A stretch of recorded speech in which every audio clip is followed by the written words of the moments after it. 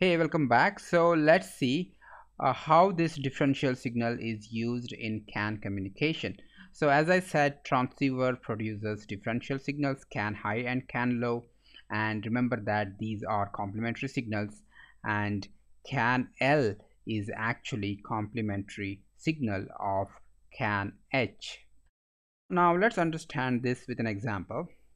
Now let's say you want to transmit logical 1 so when you want to transmit logical 1 so what transceiver does is it will make the can high signal as 2.5 volt. It's a nominal voltage okay? It need not be 2.5 volt. Okay it may be something uh, else like 2 volt or 2.3 volt etc okay? So later i will show you by going through the data sheet of the transceiver to understand uh, these numbers okay? Now if you want to transmit logical 1 then can high will be 2.5 volt and can low also will be 2.5 volt. So the difference between these two signals will be 0 volt isn't it? So that is why the logical one is also called as recessive state of the CAN bus. So if you want to transmit logic 1 so this will be the state of the can h and can l signals on the bus. Okay the difference will be 0 now let's say you want to transmit logic 0 so when you want to transmit logic 0 can high will be at 3.5 volt or whatever the voltage you apply to the transceiver okay? So basically i call it as plus vcc and can low will be approximately near 70% of the VCC or you can say 1.5 volt okay? So the difference is approximately 2 volt. And this state of the can high is called as dominant state. So can state will be dominant if you want to transmit logic 0 remember? And if you want to transmit logic 1 then can bus status will be or state will be recessive so this is a recessive. This is dominant. So dominant is used to transmit logic 0 and recessive state is used to transmit logic 1 i hope you get that idea. So now what we'll do is we'll go to the data sheet of the transceiver. Okay so let me take you to the data sheet of the TI's SN65XX uh, CAN transceiver. Okay so this transceiver I have considered because I'm going to use this transceiver in my application and while doing uh, some code exercises. And uh, as uh, as the description says here uh, this is actually used in applications employing the control area network serial communication physical layer in accordance with the ISO standard okay? And uh, so as a CAN transceiver, the device provides transmit and receive capability between the differential CAN bus and CAN controller with signaling rates up to 1 Mbps. Now let's just browse through this uh, document and here you will see that this is a functional diagram of the transceiver and here you can see that it gives out CAN-H and CAN-L differential signals. Those are the outputs and the input is D and R okay? So D means driver input remember and R means receiver output. So this is output which will then goes to CAN RX and the CAN TX of your microcontroller you have to connect to the pin B. And uh, here you can see that this block is actually transmitter and this is actually receiver and uh, here you can see that can L is produced by negating the output of can H isn't it? So here you can see that here because here there is a not symbol isn't it? So that means can L will be complementary of can H okay?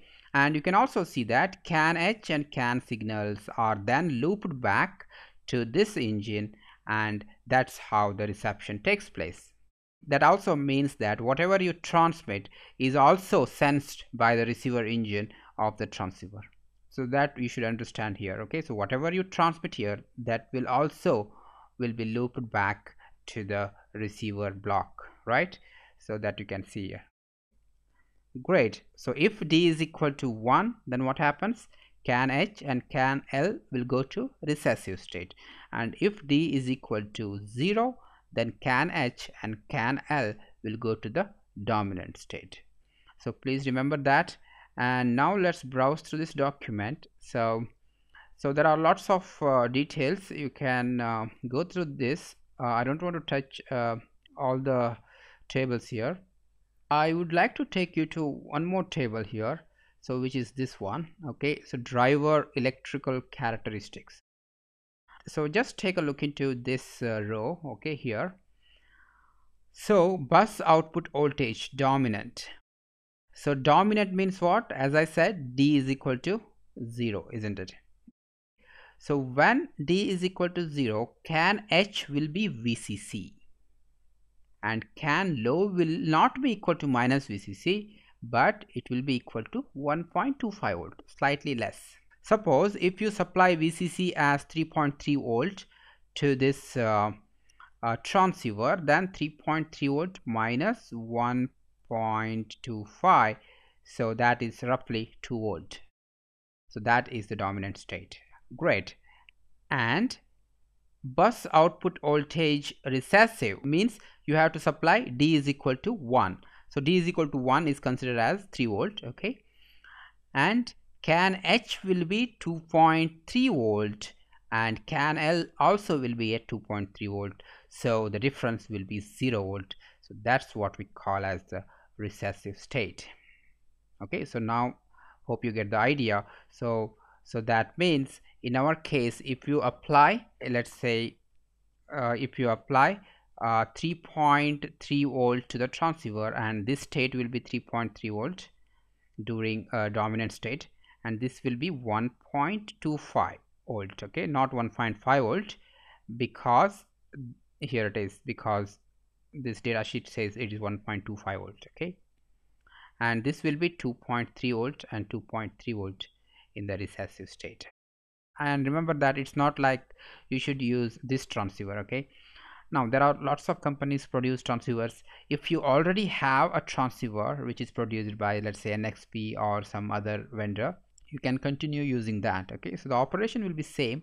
So these voltage ranges may be different okay? And remember that for this transceiver don't give more than 3.3 volt.